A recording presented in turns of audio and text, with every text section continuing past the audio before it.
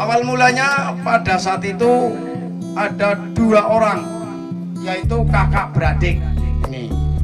Namanya Mangun dan Ngeneng.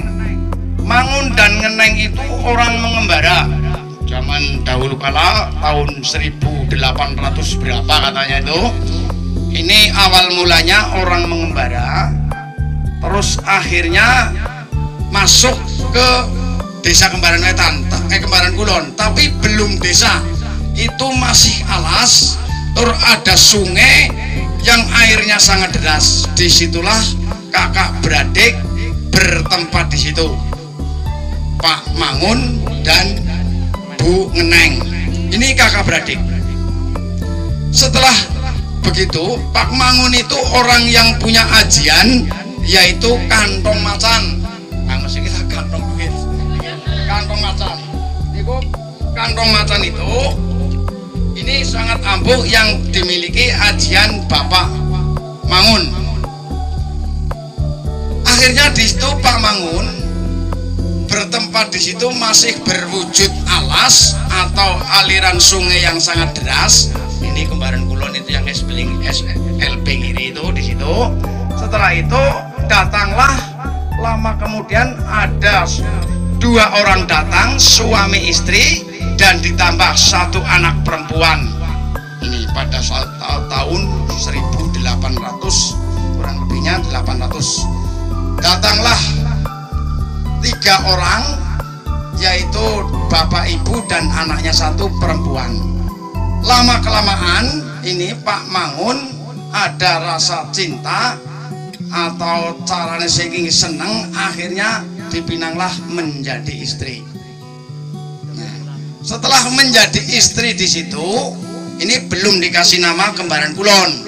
Setelah dipinang menjadi istri lama-lama lama mempunyai anak. Anak.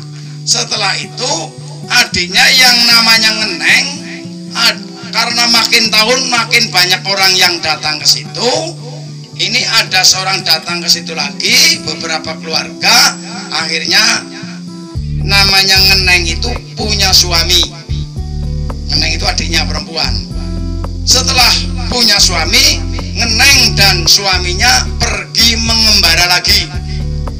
Pergi mengembara jalan-jalan-jalan akhirnya menemukan di desa sini tapi belum berwujud desa juga masih alas gitulah ya. Nah di situ. Lama kemudian Pak Mangun punya anak. Anaknya kembar. Ini punya anak kembar terus mencari adiknya akhirnya ditemukan di sini. Karena jauh akhirnya Pak Mangun karena adiknya di sini Pak Mangunnya di sana anak yang kembar itu dikasih nama kembaran. Karena kedudukannya di sebelah barat tengkulon ini kembaran kulon. Adine jauh di sini karena kedudukannya di sebelah timur dijenengi kembaran wetan. Niki jane kakang adi. Nih jane kakang adi. Tapi sini perempuan. Biasanya ngerwadon ya anu ngalah niki perempuan. Lama-lama kemudian ini pada saat itu karena makin banyak penduduk karena tambah-tambah-tambah karena di situ sudah terkenal kembaran kulon dan kembaran wetan pada saat itu ada orang jejodohan lagi jejodohan lagi Mbah Mangun kan sudah meninggal dengan adiknya jejodohan lagi akhirnya pada saat pernikahan sore hari duduk seperti ini akan jejer suaminya hilang. Suaminya hilang. Sampai dua kali dijalankan oleh orang kembaran kulon. Ini anger Arab kawinan sing lanang hilang.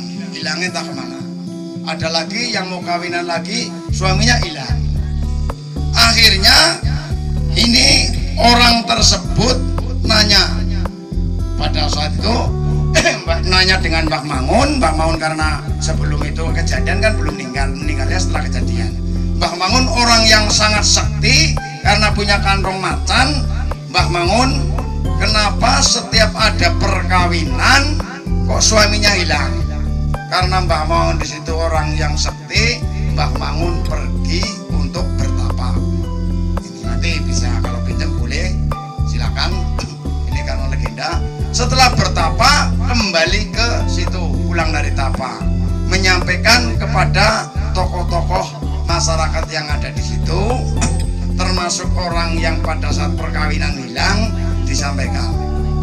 Kenapa suaminya hilang karena sini sudah nama kembaran kulon sana kembaran wetan.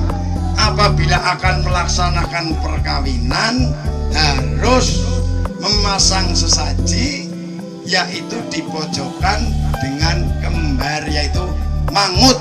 Ikan mangut yang kembar.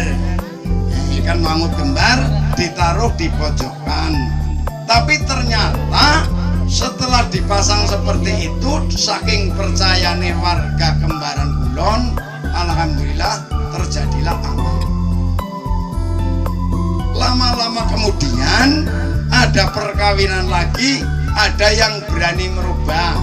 Tidak dikasihkan pojokan rumah tapi dibagikan kepada para tetangga. Dianggapnya selamatan jadi itu harus pakai ikan mangut. Itu di kembaran kulon. Jadi mau neneng pojokan rumah sesajen perkawinan berjalan tidak hilang lagi suaminya.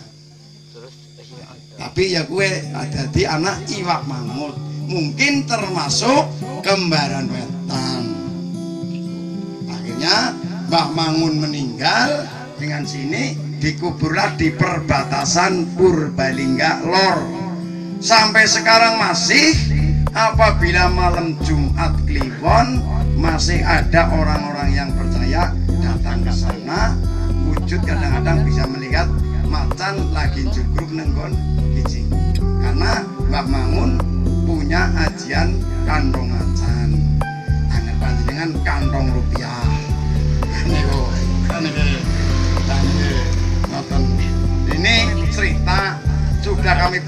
sejak hari Minggu sampai kemarin. Foto bolak balik bolak balik. Oh intinya kayak gini. Berarti yang nganggo. Iwak mangut kembar karena pada saat itu di kembaran kulon pakai ikan mangut termasuk kembaran wetan. Niku legenda. Percaya atau tidak hak panjenengan warga kembaran wetan negeri teng pojokan seniki apabila ada anaknya perkawinan cokan nggo selamatan dibagi tetangga jane intinya ya syukuran lah karena kita diberikan rezeki datang anak baru mantu ya anak jadi syukuran. Mawon Niki sekali lagi kami juga ditunggu undang di balai desa.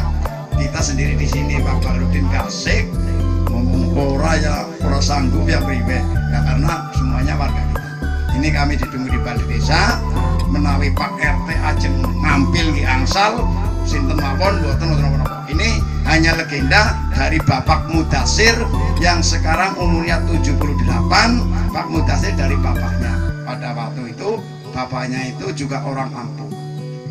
Ana wong carane mutangi sing sing nganti medeni banget dilalah dari banyu didongani bismillah tok lian kemari jadi ini dituruni dari orang tuanya. Ini primbonnya sekarang sudah berada di Kabupaten Purbalingga. Sudah diminta primbon bahwa terjadinya kembaran ulon dan kembaran wetan. Jadi panjenengan umpamane poli jejo dan kembaran-kembaran kulon karo wetan ya wis ora hilang karena saudara awal mulanya. Kenapa berhenti biasane termasuk saiki maring anak putune ora ditindokna kae sedulure. Dadine akhire pedhot. Mawon sepindah malih kula nyuwun agungi pangapunten. Kami sampaikan terima kasih semuanya kepada RT 6 yang telah bela negara ditanamkan dengan baik. Mudah-mudahan bela negara itu mewujudkan aman, tentram, dan damai melaksanakan kegiatan-kegiatan yang akan membuat keamanan di desanya masing-masing atau RT-nya masing-masing ini sudah termasuk bela negara.